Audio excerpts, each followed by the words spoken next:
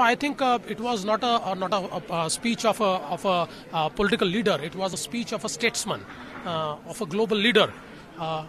and I think all the three points uh, which he made, the world should be concerned about, whether it is climate change, whether it is terrorism, or